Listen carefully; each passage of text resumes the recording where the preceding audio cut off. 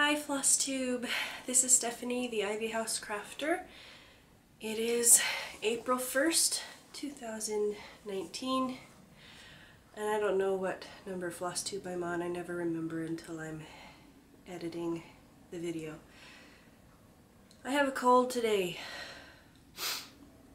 Uh, it came up yesterday and I couldn't even like rest and rejuvenate yesterday because I have musical responsibilities at church and they were like double what they usually are yesterday because of a special event the youth were doing and I was accompanying them as they sang. So I didn't get very much rest yesterday, although I did get a nap between church and the evening program. And today I'm just...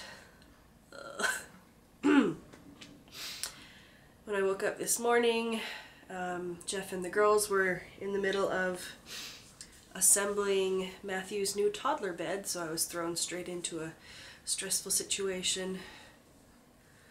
It was okay, we got it all worked out. Super cute bed. It's sitting in the living room right now because we need to clean out his room and get rid of the crib and put the bed in. Anyway, today's dad joke. When do ghosts play tricks on each other? April Ghouls Day. Happy April Ghouls Day, everybody. I've had years where I've been a fun mom and, and done all the fun April Fool's Day stuff with the kids. You know, make jello and, and put a straw in it and then give them juice in the morning and they can't get the juice because it's jello, that kind of thing. I'm not, I'm not a fun mom this year because this year I'm a sick mom and I don't care. it's just another day. Anyway, let's jump straight into whips, shall we? Um, when I left you all last week, I had been working on um, my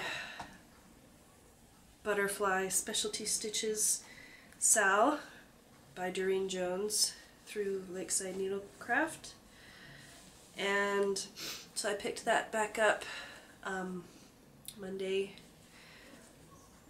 after the FlossTube video and I put in all the frames for the remaining sections to be done. This was fun. It was um, not quite monotonous, but like repetitive enough to be relaxing and I and I but um, there's sections where if you look at if you look at this, like where the butterfly kind of breaks through the frame, and so I had to really pay attention so that I would know where to skip stitches to leave room for the butterflies. Um, so it was repetitive but kept my attention. So, so that was nice. And that is again Butterfly Specialty Stitches Sal and I will link that below and I'm stitching it with my own color conversion on um, 28 count tea-dyed Monaco.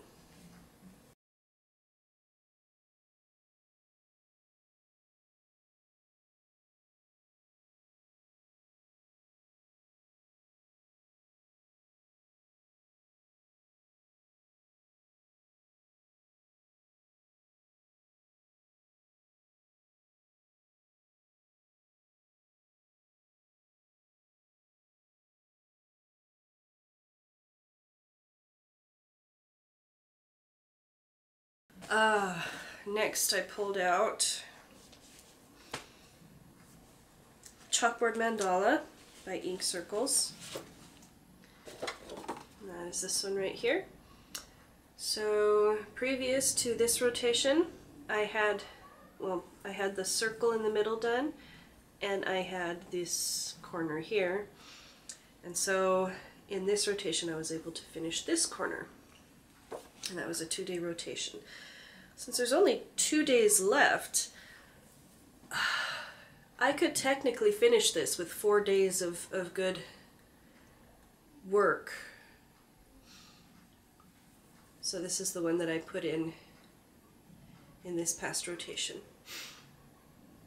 So yeah, four good days could could um, potentially complete this for me. That would be really cool. This was one of my Maynia starts last year. and it's one that I pull out very irregularly, like not very often. but as it as it grows, it, it just looks cooler and cooler. So this is, um, you know, obviously I'm I change things around quite a bit. Um, this is a J&P Coats red and orange variegated and I'm stitching it on 32 count lambswool Jobelan.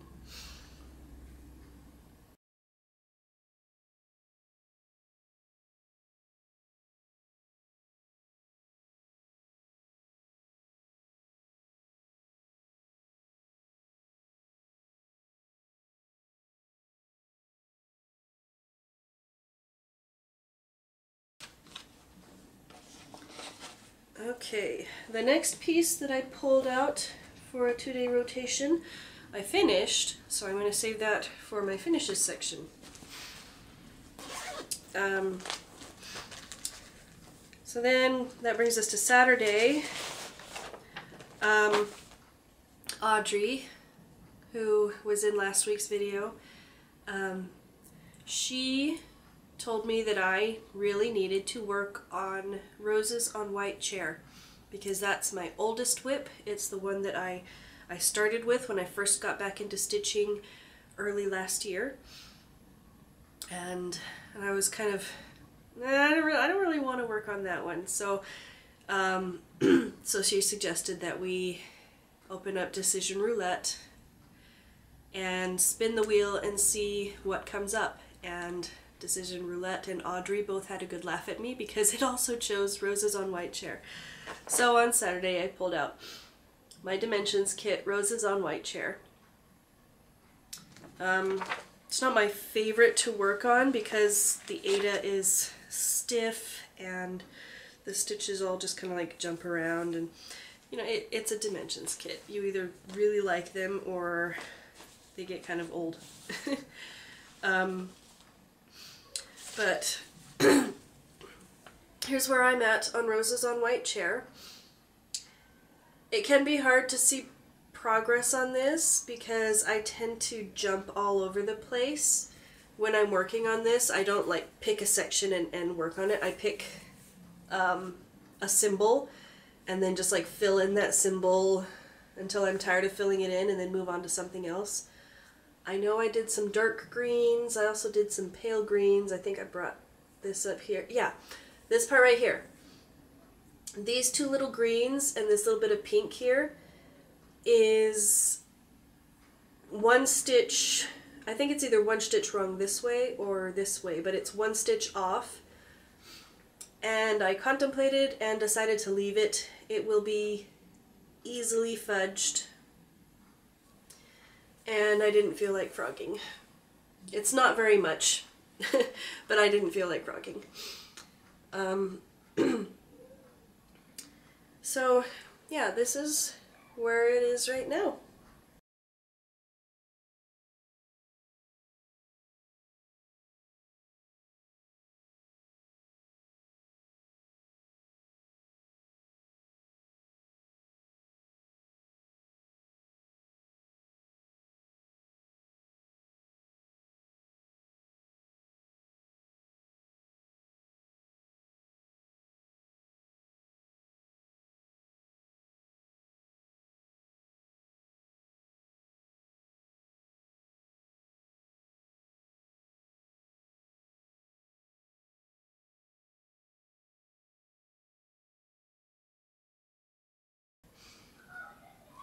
And then I was going to work on it some more yesterday, but excuse me.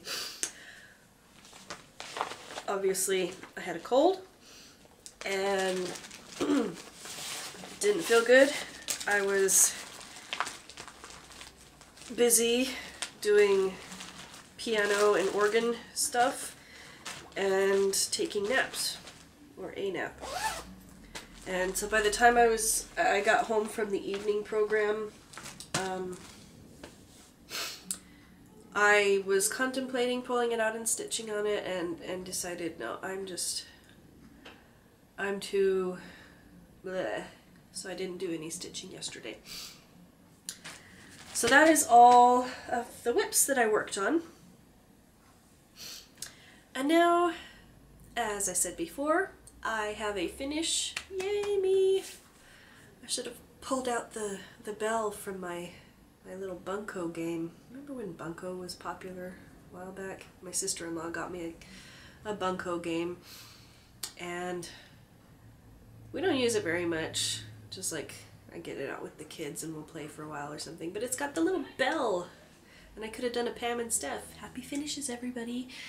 But I don't have my bell. That's okay. I have a finish, and that's even better.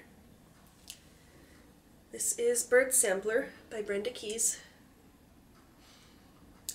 And when I pulled it out on Thursday, it was, I didn't intend for it to be a finish. Um, in my mind, I still had a long ways to go. But then I put in these three birds and a few more leaves down here and I realized all I have left is some leaves and some words and I really could finish this in this rotation and so when I got it out again on Friday I worked like crazy and put in all of these words I think I, I only had the, the bottom line of words. So I put in all the rest and finished up the leaves and put in the date and my name. And it was done. And it was a whole lot more work than for one day than I thought that it was going to be because all of these words are 1 over 1 on 32 count. And it was hard. Holy cow. I was really tired of stitching by the time I finished, but I was also really excited because I've loved working on this piece and it's so cool that it's finally done. So I'm going to read it to you. The bird which soars on highest wing builds on the ground her lowly nest, and she that doth most sweetly sing sings in the shade when all things rest. Isn't that pretty? And it originally said 1829, no, 1827, and um, Lucy Tyler, I think was the name on it. And I changed it to be 2019 and have my name Stephanie Basker. So, it's so pretty. I love it so much. And someday I'm going to get it framed and put it up on the wall.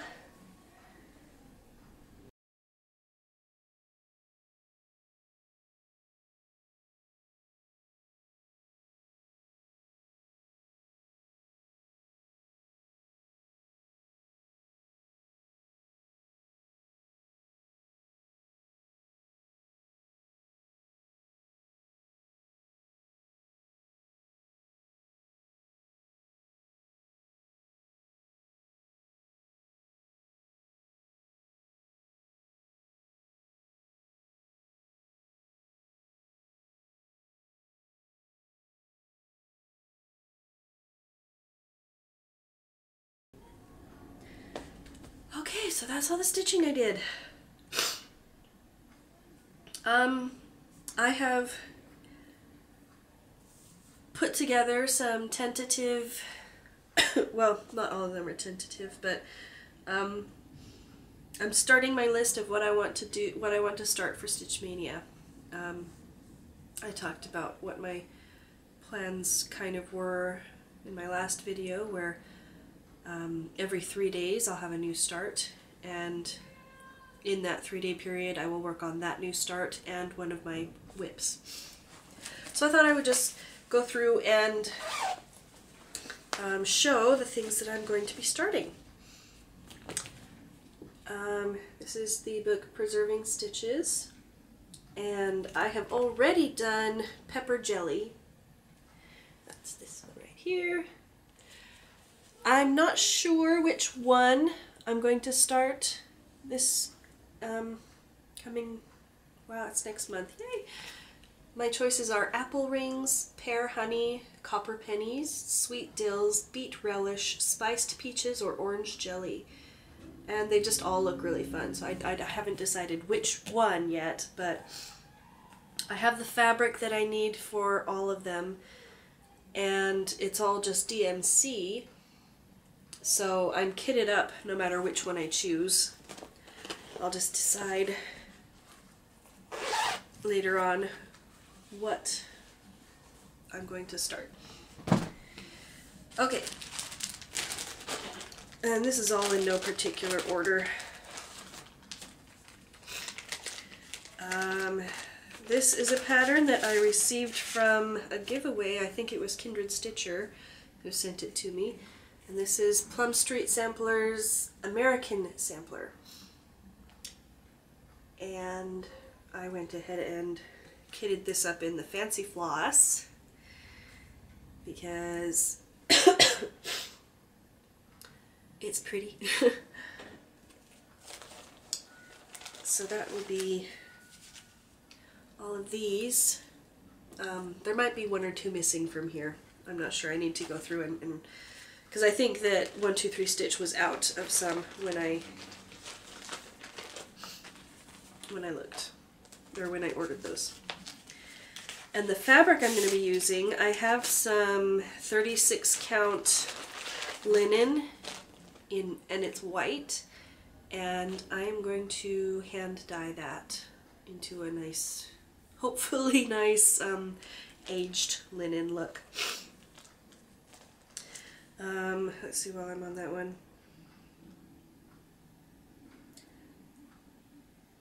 Also in this bag I have some 40 count linen and, and I will be stitching deer and squirrel, um, which is one of my patterns. I'll be stitching that on this 40 count cream Newcastle linen. Be with the called for DMCs. And let me let me pull that up so I can show it to you. Um,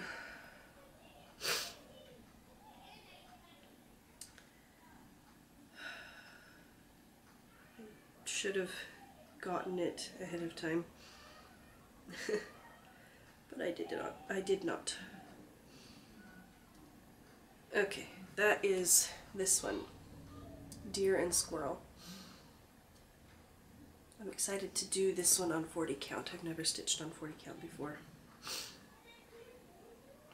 Okay, um, next bag.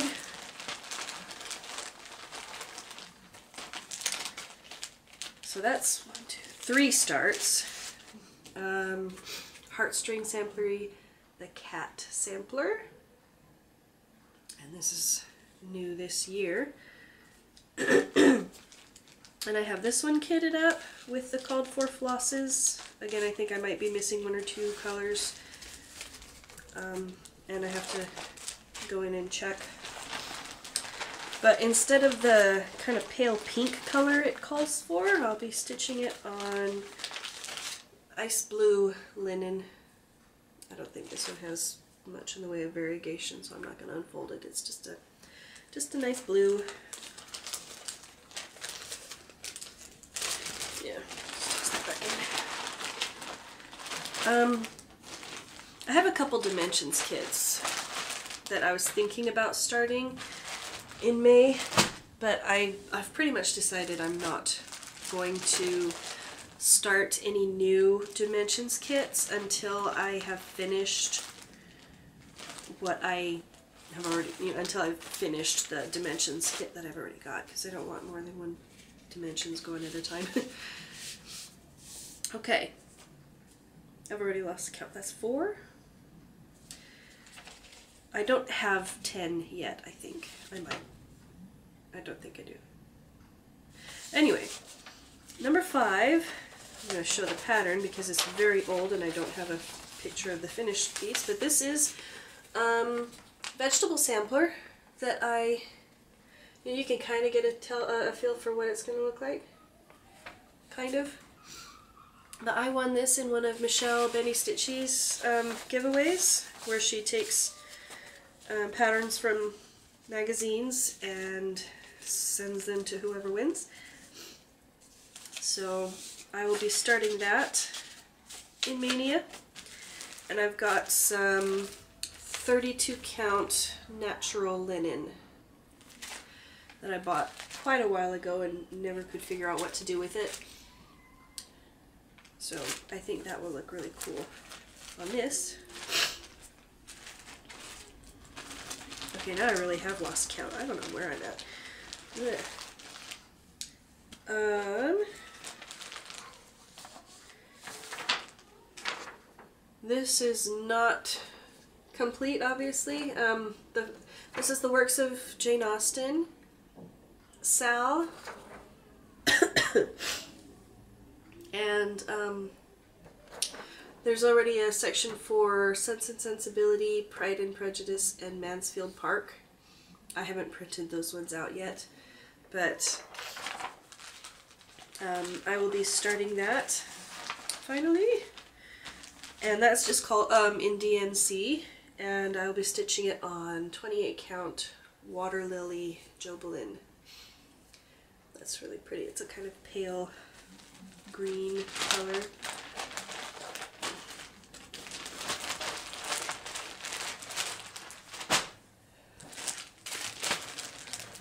All right.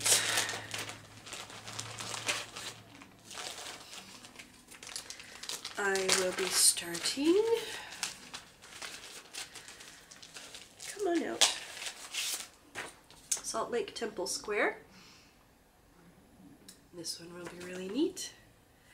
You could, it's, it's a very small picture, but it works up to be um, like nine and a half inches wide and only three inches tall. So it's just like this, this little strip of awesomeness. Um,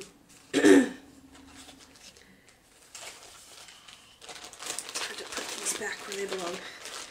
And that I will be stitching on 28 count Summer Sky Jobelan. It's a pale blue and it's got like a little bit of white variegation in it to, to look a little bit like clouds. So that will be pretty. And I will be starting autumn salt boxes. And this, if you've been following me for a while, I bought this for my birthday back in November. Um, so it's about time I, I actually started. Um, that I will be stitching it in all the called for colors with the called for fabric. Oh, that didn't go back in the bag. Okay, um, I think it was this bag. I don't think that's 10 yet.